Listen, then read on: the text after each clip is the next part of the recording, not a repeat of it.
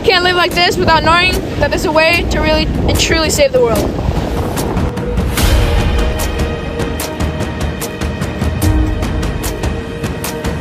Oh, what was that?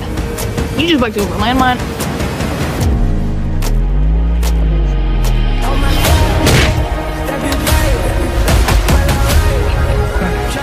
You're done now.